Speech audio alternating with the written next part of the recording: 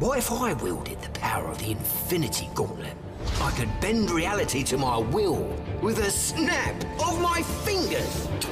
I just saved money with Geico. I saved hundreds of dollars. Nice. That is a lot of money.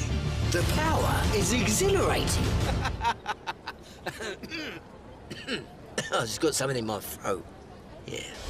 Marvel Studios Avengers Endgame in theaters April 26th.